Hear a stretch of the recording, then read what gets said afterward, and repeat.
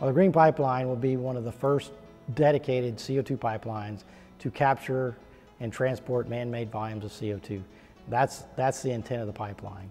During the first few years of the pipeline until the large sources of man-made become available, it will transport natural CO2, but our primary purpose is to capture the man-made sources of CO2 and then using it to produce more domestic energy via CO2 enhanced oil recovery. We're excited about the Green Pipeline because it comes right down the heart of South Louisiana's oil and gas fields on the way to Texas. So, so we're excited about that and we think it's a, a well planned out project and we're happy to be a part of it. We labeled it green because we're taking what is called a greenhouse gas out of the atmosphere and using it to perform a, a very beneficial function in terms of producing more domestic energy or oil. We start our inspection first off on the environmental side.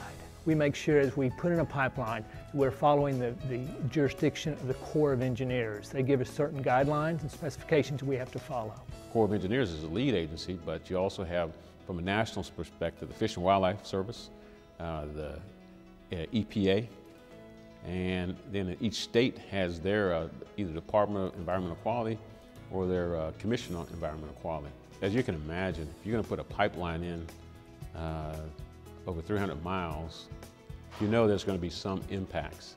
And given the location, some of it's going to be uh, wetlands, some of it's going to be forested areas.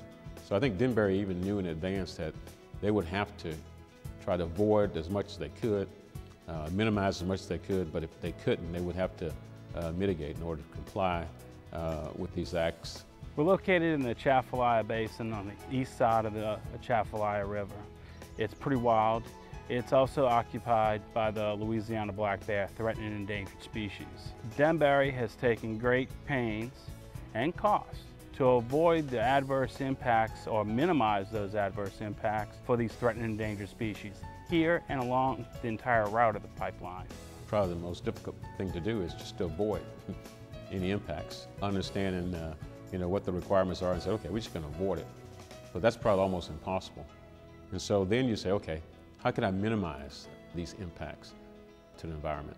And we have to be sensitive to local needs and public safety and public convenience when we build a major pipeline like this. And what's unique about this one is all the landowners you have to deal with. We have to negotiate right away uh, over every piece of pipe we put in the ground and all the government agencies we have to deal with and the local agencies to get permits to do everything. They have a rigorous uh, regulations that we have to follow and they do come out on the job and make sure that we're following the guidelines.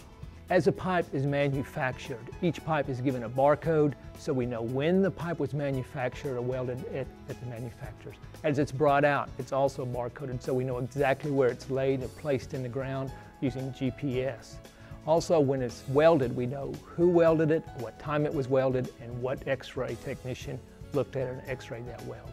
So all of that is kept in a database so we can go back and review it at a later time and, and make sure that our pipe's in, in the right place.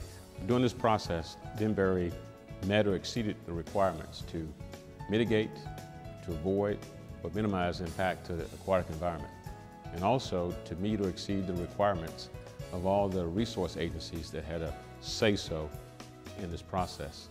So I see it as a, as a big win-win.